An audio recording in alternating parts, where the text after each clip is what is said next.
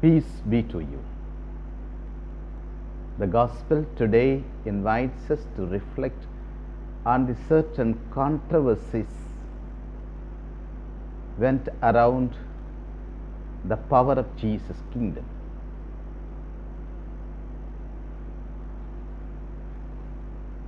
When Jesus cast out the demons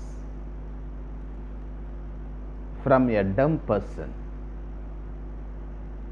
the opponents of Jesus Christ, the Pharisees, accused him that he was casting out the demons with the help of Beelzebul, the Lord of heaven. Jesus at once did not give his immediate answer. Also, some of the people they thought to himself themselves that he was casting out the demons with the Beelzebul and wanted to have higher order of signs. Jesus, knowing their thoughts, St. Luke specifically mentions the foreknowledge of Jesus Christ. Our Lord is working with the finger of God. That was the God in the Old Testament was rescuing people from the slavery of sins and problems and this is continued in Christ Jesus. The redeeming power starting from the Old Testament, the redeeming work by started by God the Father is continued here with Jesus Christ.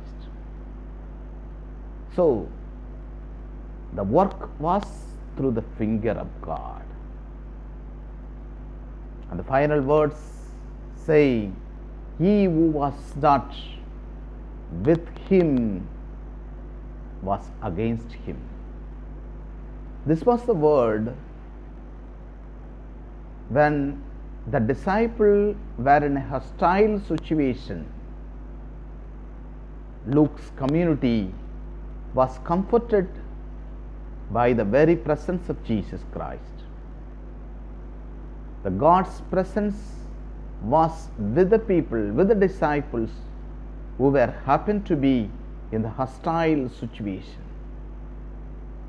And they were exhorted to take care of and feel the presence of God, that He protects them from all kinds of evil in their journey, also exhorted to follow Him on their way.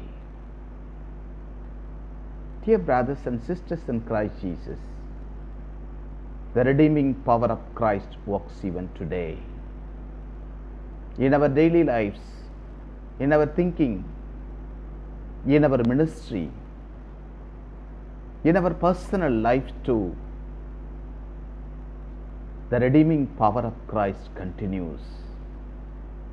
The work that was started by, the, by God the Father in the Old Testament, redeeming them from the slavery, is still continued by the power of Christ Jesus.